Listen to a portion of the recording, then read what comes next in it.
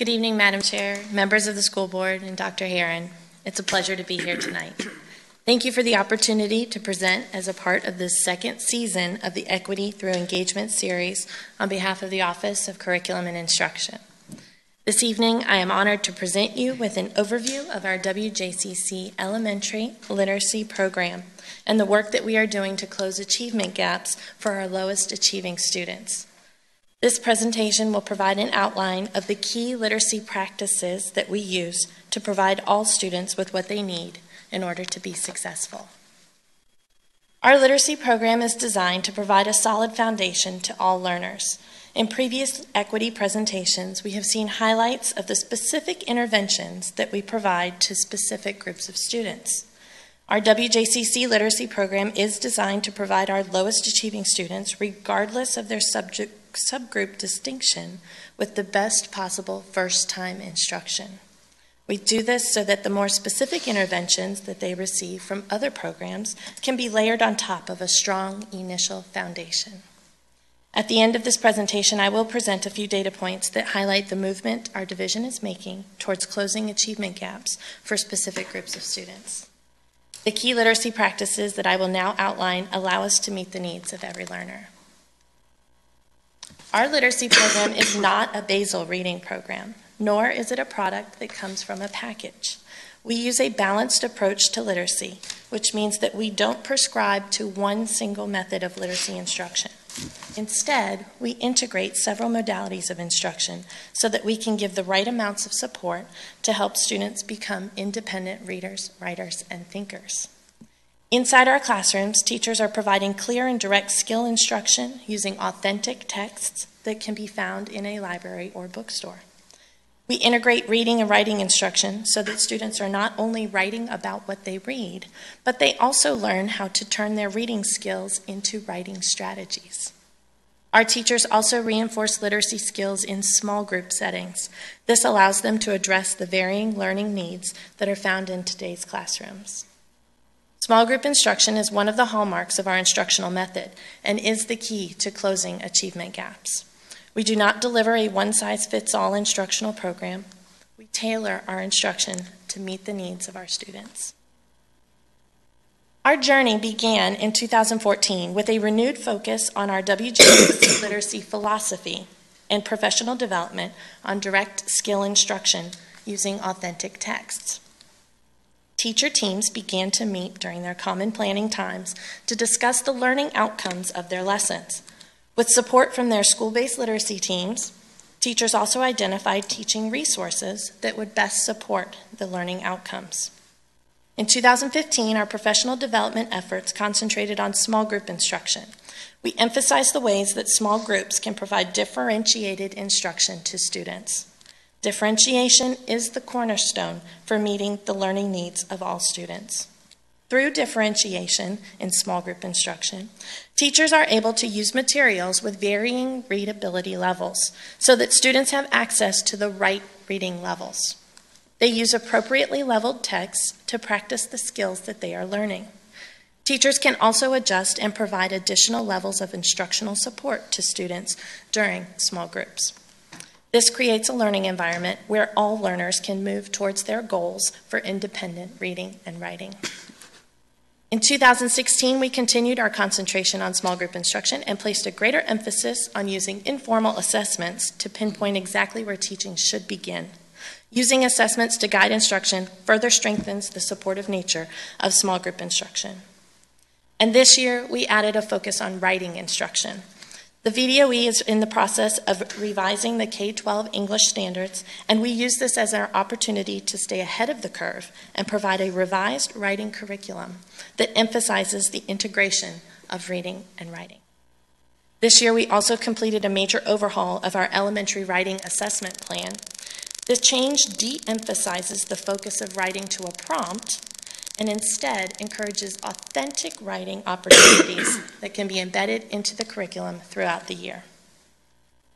Let's take a peek into a few classrooms to see this literacy focus in action.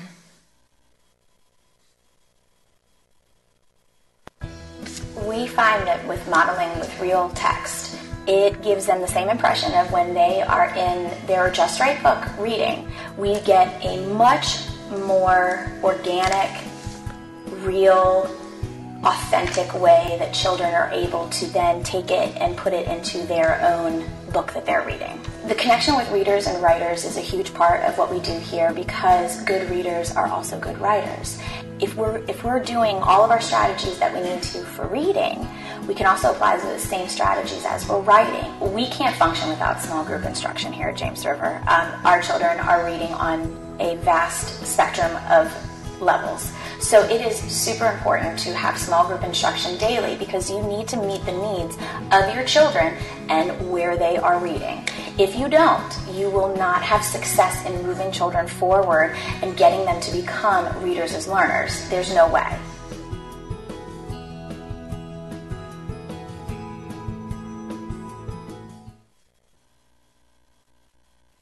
In 2015, we decided to make our literacy instructional philosophy more tangible and created an elementary literacy program guide. The program guide serves as a resource for teachers and explains the nuts and bolts of how to teach children using a balanced literacy approach.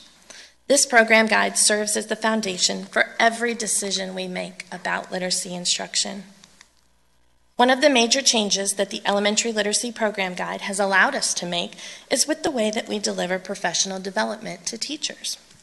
The research is clear. One of the highest effects on student achievement is the instructional capacity of our teachers. We have some of the best teachers in WJCC, and they bring a wide range of expertise with them to their classrooms every day. Because of the Literacy Program Guide, schools have been able to request specific professional development topics that suit the perspectives of their staff and students. The Literacy Program Guide ensures that all professional development is aligned under the same instructional philosophy, regardless of topic. The Literacy Program Guide also allows WJCC to maintain consistency in professional development content while allowing individual schools to modify the learning formats to fit the adult learning styles and needs. Just as teaching with a one size fits all mentality is no longer an accepted practice, providing professional development with that same one size fits all manner is no longer the only option. The Regie Routman Reading and Writing Connections Professional Development at Laurel Lane Elementary is just one example of how a school has used the Literacy Program Guide to choose a specific, sustained professional development focus. This video highlights the work that they are doing and is just one example of the many extraordinary professional development opportunities that are taking place in our elementary schools.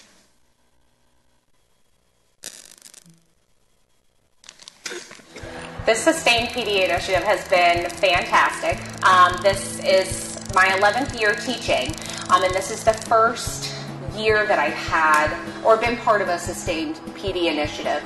Uh, what I really like about it is that uh, I know what to expect when I'm going to these professional developments, um, and it's really nice to have the different PDs build on each other, and it helps to put together the experience of those who have been in the classroom for a while and those who are new to the profession who may have some ideas coming fresh out of school that we are not privy to.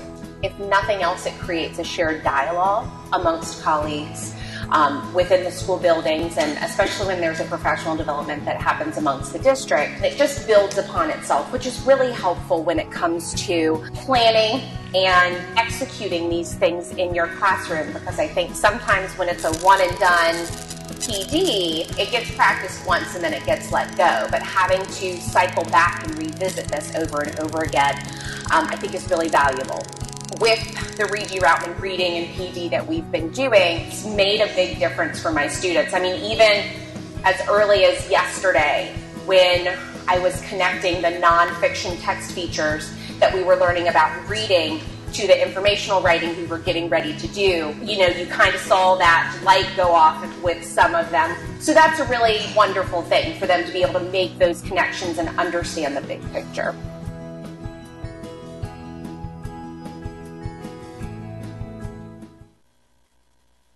At the classroom level, we monitor the progress of individual student learning through numerous division-wide reading assessments, such as the Developmental Reading Assessment, or DRA2, the Phonological Awareness and Literacy Screener, also known as the PALS assessment, and the Measure of Academic Progress, or MAPS assessment.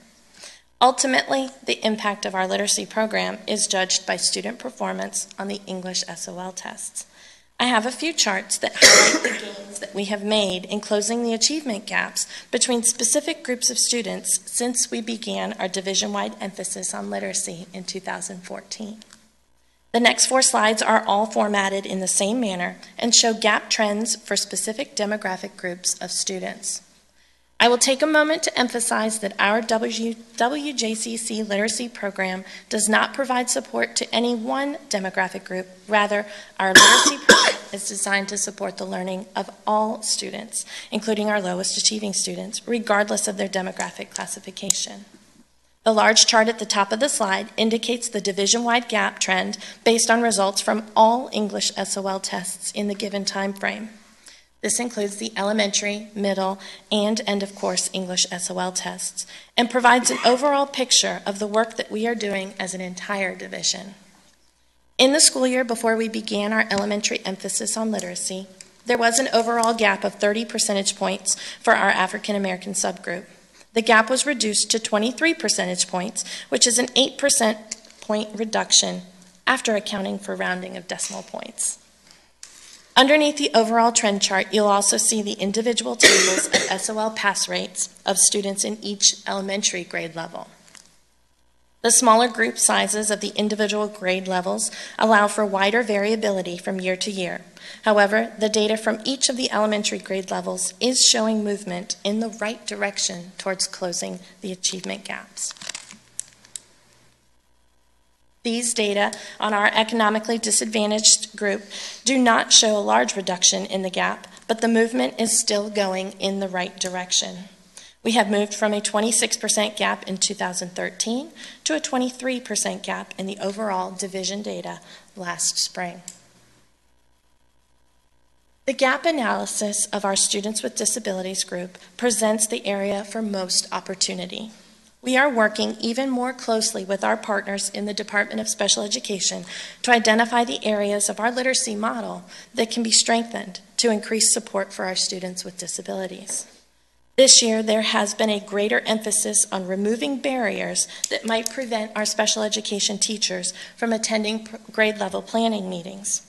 We are also taking a closer look at how we can encourage the transfer of learning to the general education classroom from the Wilson, Language Live, and Passport reading interventions.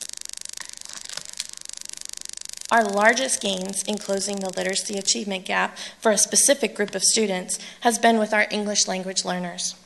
I must express a cautionary reminder that when we drill down to the individual grade level data for some of our groups, the small number of students can cause wide variability from year to year in the pass rates of that particular group. When the number of students is in the group is smaller, each individual student can have a greater impact on the pass rate for the entire group. In this case, even though the grade level data changes drastically, drastically from year to year, the overall division wide trend of reducing the achievement gap is noteworthy.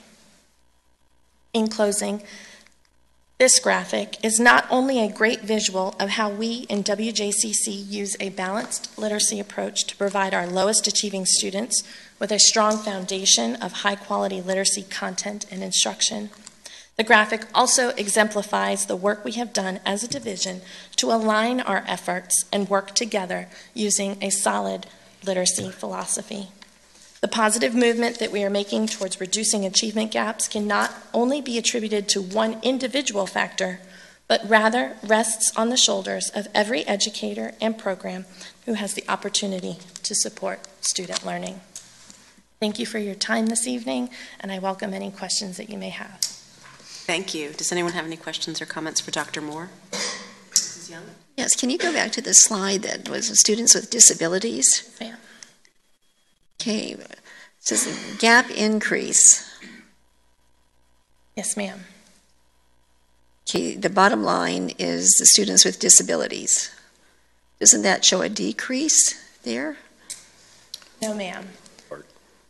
Say that again? Lines are getting farther apart from left to right. So, so on the right side, it's 87 and 46. Right, I see So that. those 85 and 49, so that number is closer now to the left. So it is increasing. Okay, Basically, we still have work to do in, in all of these areas, and especially with our students with disabilities. right, and I, I know that that's a difficult area, but Mr. Thorpe to explain this to me later. I think that's Mrs. Young. I'm picking on him, I want him to explain it to me. Ms. Dombey? Madam Chair, I just want to applaud um, you for your, the division for their efforts and certainly appreciate the transparency. And, and while there's definitely an opportunity for growth, particularly in this subgroup, um, I think overall we're making strides. And so I look forward to, to more outside of the box thinking and creativity and finding ways to, to help all of our students achieve and to mitigate. Uh, Mr. Kelly? So, so these graphs are the same groups of students as they track through the system? So it would be from, so, so what group of students are we looking at here? So in this particular graph, we are looking at the students who were in grades three, four, and five at the elementary level, six, seven, and eight at the middle school level, and the end of course at high school in 2013-14. And then the group of students that were in those particular grade levels in 2016-17. So this is not cohort data. We're not looking at the exact same group as they move through the school years. We're looking at the data from that particular grade level for that particular testing year. Gotcha. Thank you. Um, the other thing too, the video. The one thing that struck me about the video um, is that you had a had a teacher talking about her professional development and said that they're being exposed from the younger teachers being exposed to newer ideas, and I thought that was really very very important uh, concept. That uh, you know, just because you have more experience doesn't mean you have other, don't have something to learn from the newer teachers, and I thought that was uh, that was a real good point. So appreciated that. Dr. Beers? Yeah, Dr. Moore, I've, I've also uh, applaud what you and the, and the division has done. The gaps are getting smaller, um, and they get hard. You know, the smaller they get, the harder they they they, they get to um, remove. But um, th- to me, this is very impressive, and um, clearly, the district um, has uh, has adopted a really balanced, sensible approach to uh, to literacy development and and also uh, instruction.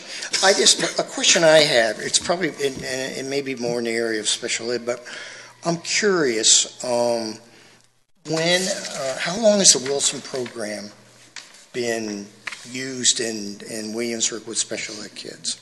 I don't want to misspeak. Ms. Bourgeois, I think, we'll probably be able to, to 'Cause I, take I that always one. thought that, wa- that that was kind of a, uh, uh, pretty, pretty standard, um, instrument, uh, instructional, uh, program for special ed kids.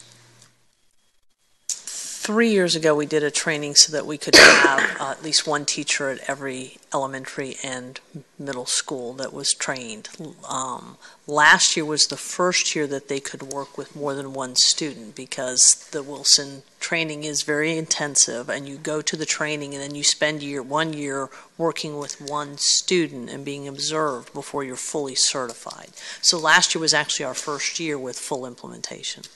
So, um, are, are, is, are, you hoping that over time, um, the number of students who are worked with will increase, you know, as we get more teachers trained in that area or, or can work with the, with two students?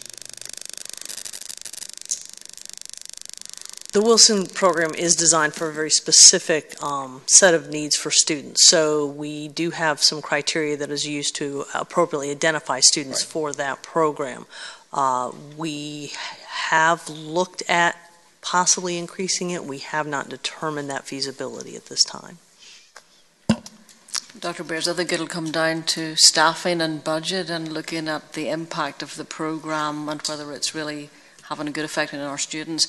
The, the, the What's really, what's so critical about that, especially with, with, um, with kids with uh, uh, disabilities, learning disabilities particularly, is that one-on-one is, it- it's absolutely, it- I mean, to me, it's money in the bank. When, when, when you have a student who is having, you know, really severe problems in literacy, um, that's a, uh, that's major. That's, and I know, I know it costs money, but, it- but it's like pay now, or or we're going to end up paying later. So I, I, I commend that, well, all of you as well. Ms. Hummel? This is just, thanks for all you do. Um, I just think the reading specialists, it's magic what you can accomplish uh, for our children in, in an amazingly short amount of time. When, especially the English is, uh, the ESL student, it's just really impressive to me. Um, what is authentic writing? When you, when you kept, maybe that's just a new term for me, but if you could just, in layman's Absolutely. So traditional writing might be writing to a prompt or where a teacher assigns a topic. And authentic writing would be for more, more purposes that you would see in the real world. Um, at the younger elementary levels, we try to, to really instill that love of being an author. And so we use a lot of text and, and mentor text from authors to, to build that feeling in students. And then as students get older, you might see more things like um, responding uh, about a book, a recommendation in a blog format, or something that you would see more in the real world rather than just a, a worksheet or um, a prompt. Is it like journaling or? It could be journaling, that would be one part of it, absolutely. Or creating text, creating booklets, creating um, things that, that a student would feel that they could put that on a bookshelf in a library or in a bookstore.